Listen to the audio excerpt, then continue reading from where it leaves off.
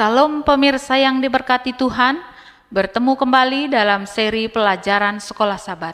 Sebelum kita mendengarkan firman Tuhan, mari kita sama-sama tunduk kepala dan kita berdoa. Bapa kami dalam surga, puji syukur Tuhan atas berkat-Mu pada saat ini. Kami akan mendengarkan firman Tuhan melalui pelajaran Sekolah Sabat. Kiranya firman ini dapat bekerja di dalam hati kami masing-masing ketika kami mendengarkan Engkau berbicara melalui firman ini. Ampunkan dosa kami yang banyak, kami serahkan seluruh kehidupan kami ke dalam tangan-Mu. Sempurnakan doa kami di dalam nama anak Yesus kami berdoa. Amin. Pelajaran Sekolah Sabat Selasa 20 Juni 2023, Reformasi berlanjut. Allah telah membangkitkan umat akhir zaman yang berdiri di atas bahu para reformator besar di masa lalu dengan kitab suci sebagai satu-satunya pernyataan iman mereka, hanya Kristus sebagai satu-satunya sumber keselamatan mereka, Roh Kudus sebagai satu-satunya sumber kekuatan mereka, dan kedatangan Tuhan kita sebagai penyempurnaan dari semua harapan mereka.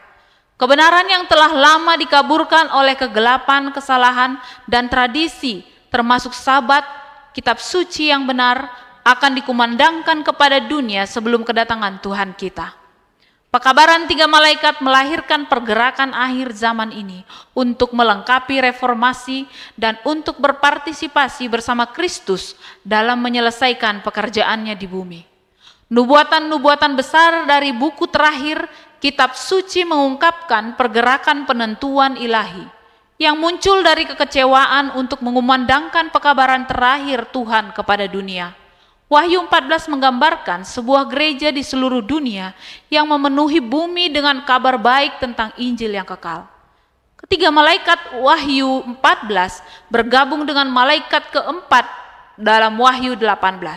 Malaikat ini memberikan kuasa kepada pemberitaan ketiga malaikat agar bumi disinari dengan kemuliaan Tuhan. Terdapat di dalam Wahyu 18 ayat 1.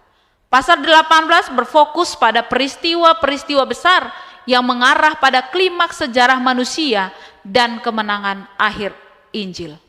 Bacalah Wahyu 18 ayat 1, kemudian daripada itu aku melihat seorang malaikat lain turun dari sorga.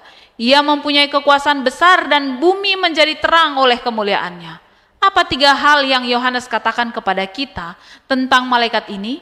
Lihat juga Habakuk 2 ayat 14. Habakuk 2 ayat 14 mengatakan, sebab bumi akan penuh dengan pengetahuan tentang kemuliaan Tuhan, seperti air yang menutupi dasar laut. Malaikat yang turun dari hadirat Allah yang mulia di ruang tahta tempat kudus ditugaskan untuk mengumandangkan pekabaran terakhir mengenai belas kasih Allah dan untuk memperingatkan penduduk bumi tentang apa yang terjadi di planet bumi. Apa ayat tersebut mengatakan bahwa malaikat datang dengan kekuasaan besar. Kata Yunani perjanjian baru untuk kekuasaan, exousia. Yesus menggunakan kata ini dalam Injil Matius selaras dengan pengutusan murid-muridnya. Dalam Matius 10 ayat 1 mengatakan, Yesus memberikan murid-muridnya kuasa atas penguasa-penguasa dan kekuatan kejahatan. Dia mengirim mereka keluar dengan kuasa ilahi untuk menang dalam pertempuran antara yang baik dan yang jahat. Dalam Matius 28 ayat 18 dan 19, dia sekali lagi mengutus mereka.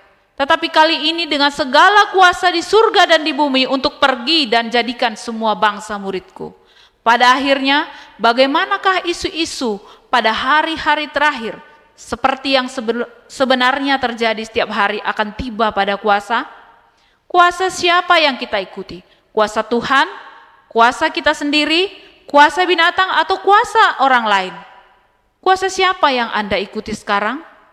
Tuhan memberkati. Mari kita sama-sama tunduk kepala dan kita berdoa. Bapa kami dalam surga, terima kasih Tuhan atas berkat-Mu. Kami sudah mendengarkan firman Tuhan pada malam hari ini. Kiranya kami dapat mengikuti kuasa yang berasal daripada Tuhan Biarlah firman-Mu pada malam hari ini Tuhan, mengajak kami bagaimana kami tetap setia di hadapan Tuhan. Ampunkan dosa kami yang banyak, sempurnakan doa kami, dalam nama anak Yesus kami berdoa. Amin.